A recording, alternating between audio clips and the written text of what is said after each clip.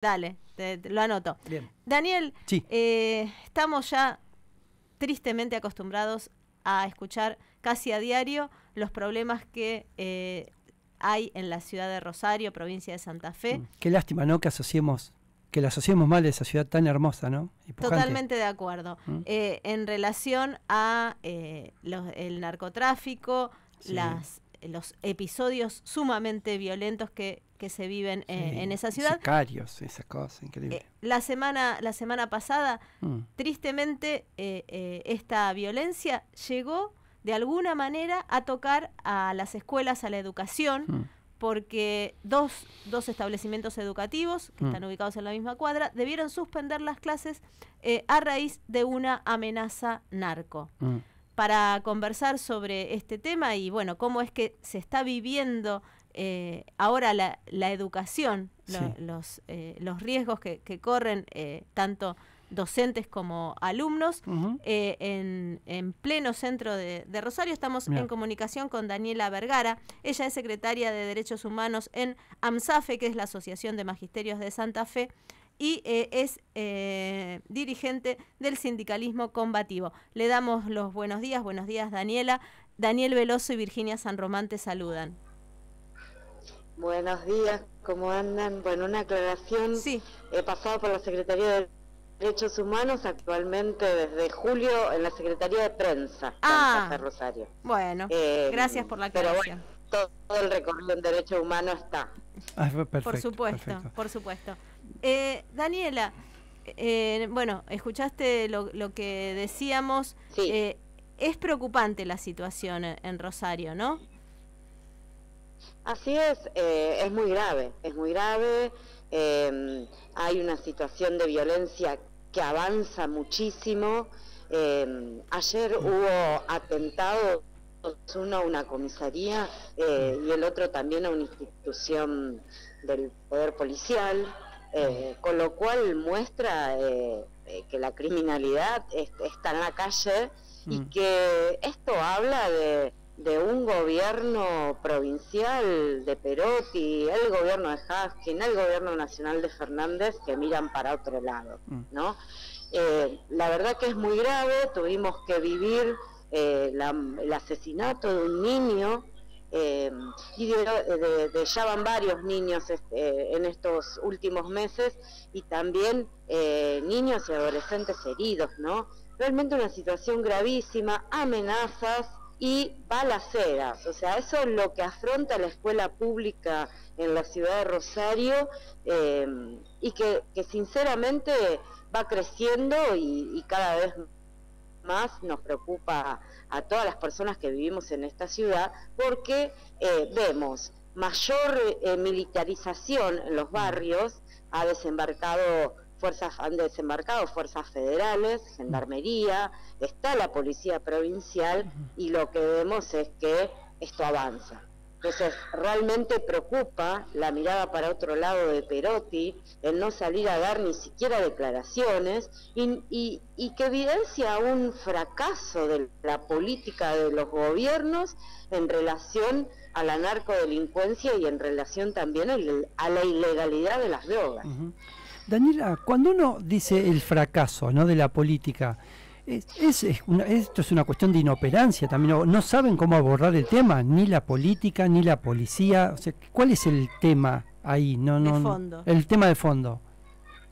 Bueno, el, el- el tema del- de fondo realmente va, va de la mano de sostener una política a favor de intereses procapitalistas, ¿no? Entonces, eh, tenemos los puertos privados de, Ujú. del- de que están en Rosario y en todo el cordón industrial, donde sabemos que es parte de la comercialización. Entonces, si acá no hay medidas que ataquen de lleno la privatización de esos puertos, tener el control por parte del Estado de los puertos, invertir mucho presupuesto en salud pública, lo que significa tener en cada uno de los territorios y barrios lugares de atención a la drogadicción, al consumo, porque también esto es lo que está pasando, eh, obviamente eso es lo que nosotros hacemos responsable, ¿no? Es decir, que una juventud no tenga trabajo, no tenga perspectiva de un trabajo, eh, un trabajo con un salario equivalente a una canasta familiar, que pueda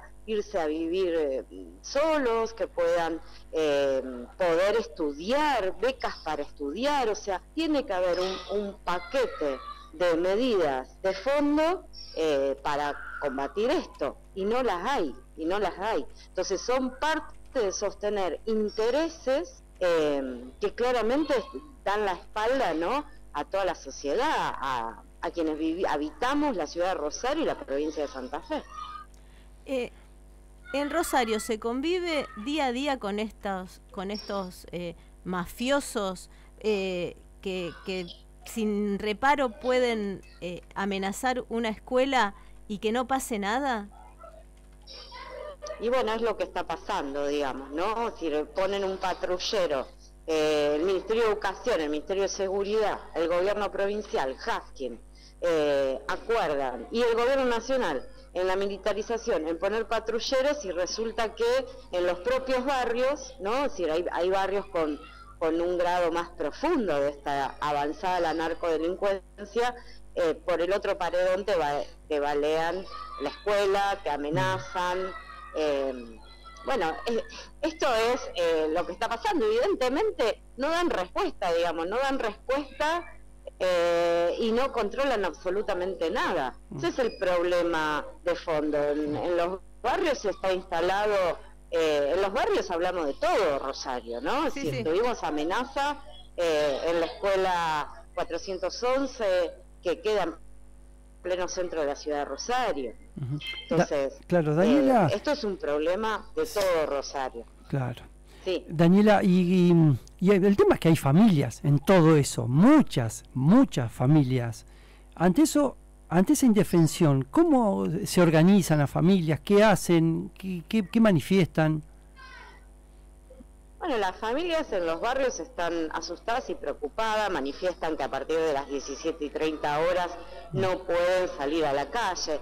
Por lo mm. tanto, esa es una de las problemáticas más profundas, por ejemplo, mm. en, cuando nosotros decimos paren la reforma educativa, no la reforma, porque han extendido el horario y no están dadas las garantías mm. de seguridad para que transiten en horarios nocturnos, porque a las 7 de la mañana todavía, va, ahora ya es de noche, y a las entre las 6 de la tarde y las 7 absolutamente de noche, los barrios son intransitables ahora, ¿no? Todo el mundo que, habita un barrio sabe que va a hacer eh, sus, compras, que sale a la calle anterior a las 17.30, después prácticamente es nula la circulación. Mm. Además, estamos en una ciudad donde además está totalmente... Eh, eh, mal el sistema mm. público de transporte, los transportes no llegan eh, a todos los barrios, no hay eh, muchas unidades, mm. entonces hay, hay una política, un, cúmulo de, cuestiones que hacen a este tema también y así lo viven la familia, entonces tienen miedo, no quieren mandar algunas familias no quieren que se queden en, en, la jornada extendida, otras familias quieren, pero no, no podemos brindar esa garantía de seguridad. Este, además, por ejemplo, ¿qué vamos a hacer? Vamos a, a, a, terminar con las escuelas nocturnas, que eran escuelas que posibilitaban un sector eh, de adolescentes, de adultos, poder ir a estudiar porque tenían que trabajar. Este, bueno, ¿qué, vamos a hacer? Entonces, acá tienen que ir a los barrios a resolver con medidas de fondo. La medida no puede ser eh, el vaciamiento de la escuela pública como lo están provocando, porque realmente lo están provocando, ¿no? Sin plata, sin presupuesto, los barrios están oscuros, hace falta iluminación, hace falta obra pública, mm. eh, bueno, todo eso es el gran ausente en los barrios, las familias lo viven o sea, acá hay un gran ajuste, un gran ajuste, un brutal ajuste económico, este, que tiene sus implicancias sociales, eh, culturales, eh, y que obviamente a la par de eso está la profunda situación de la violencia narco. Mm. Y el intendente Pablo Hapkin le echa la culpa al gobernador Perotti, y Perotti seguramente le echa la culpa a Hapkin también. O sea, eh, se reparten las culpas, pero el tema es que ninguno de los dos. un hermoso ping-pong, ¿no? en, la escuela, en las escuelas primarias, a, raíz del 25 de mayo, viste, uno de los mm. juegos que se hace es un ping-pong preguntas y respuestas Mm. este, en relación a, a la historia. Bueno, esto, esto también, ¿no? Es un verdadero juego de ping-pong en va. donde se van tirando la pelota unos a otros y son todos absolutamente responsables porque todos manejan los recursos económicos y humanos de, de la provincia, Claro. de la ciudad de Rosario y de la nación, ¿no? Porque acá hace falta que la respuesta de parte de Fernández no sea enviar cada vez más gendarmes, Mm. sino que la respuesta tiene que ser poner la plata para las mayores necesidades. Y esos recursos económicos tienen una sola definición. Romper con el Fondo Monetario Internacional, dejar de pagar la deuda externa y poner esos recursos al servicio de todas las necesidades. Porque hay que dar trabajo, porque hay que construir vivienda, porque hay que sostener, invertir mucha plata en educación pública y en salud pública, porque el problema del consumo es urgente, ya las familias están preocupadísimas, están afectadas por esta situación, eh, se nos está llevando a, la adolescencia, entonces tienen que terminar con los grandes negociados eh, y, ponerse, digamos, en, esta línea y en este sentido. Ok. Eh, bien, Daniela, bueno, suponemos que los docentes están eh, sumamente preocupados y evalúan algún tipo de, de protesta, de, reclamo, a, ver si, los gobiernos, eh, tanto de, de Perotti como de Hapkin, abren los ojos ante este tema. Mira, sí, nosotros hicimos la semana pasada una muy buena, eh, un muy buen cese de actividades en el horario de 10 a 14, o sea, Mm. es un paro, Sí. eh, y una concentración frente a la Casa de Gobierno que tuvo más de 30.000, eh, perdón, de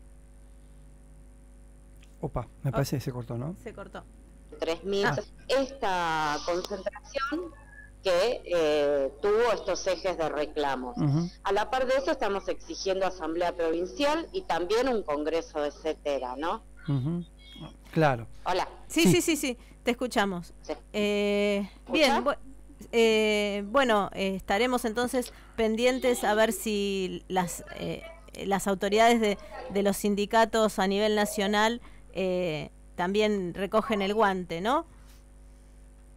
Mira, nos está preocupando, espérame que corte una conversación, Sí, nos está preocupando mucho el tema de también lo que está pasando con la dirección de CETERA, ¿no? La semana pasada convocaron a la gente ahí en apoyo al acto político de- del kirchnerismo, del apoyo a Cristina, Ah, sí. eh, cuando la docencia de Salta está siendo fuertemente reprimida. ¿no? Tremendo. Sí. Em, Terrible. cuando Terrible. reprimieron a la dirección de CETERA. Hola, Sí, ¿me sí, sí, sí, Sí, sí, sí. sí. Te escuchamos perfecto, Daniela, ¿eh? hola. Bueno, evidentemente Hola. estamos, ten- estamos teniendo problemas con la comunicación. Claro, le, le Sí, suena. le está entrando suena- como un mensaje, ¿no? Sí, Claro, le está entrando un mensaje. Este, Daniela, ¿ahí nos escuchás? Da- estamos estamos Ah, con Daniela bueno. Vergara, estábamos hablando con Daniela Bueno, Vergara. sí. Pero bueno, le, agradecemos, quedó, quedó claro. Estuvimos en comunicación con Daniela Vergara, secretaria de prensa en AMSAFE, la Asociación de Magisterios de Santa Fe. Claro.